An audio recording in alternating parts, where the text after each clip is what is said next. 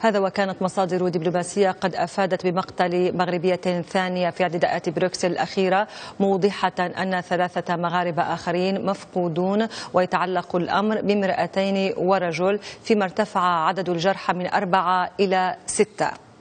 وعلى إثر الاعتداءات اعتداءات العاصمة البلجيكية بروكسل تم فتح سجل للتعازي لمدة ثلاثة أيام ابتداء من يوم أمس في إقامة سفير بلجيكا بالرباط.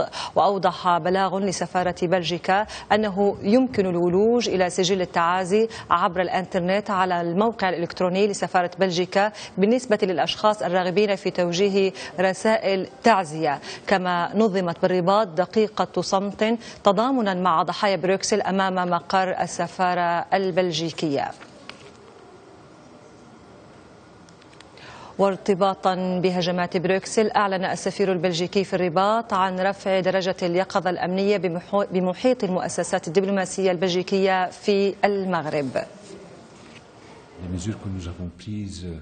الإجراءات التي جرى اتخاذها بعد الهجمات الإرهابية في بروكسل تهم رفع مستوى اليقظة الأمنية في محيط المؤسسات الدبلوماسية وذلك بالتنسيق مع المصالح الأمنية المغربية.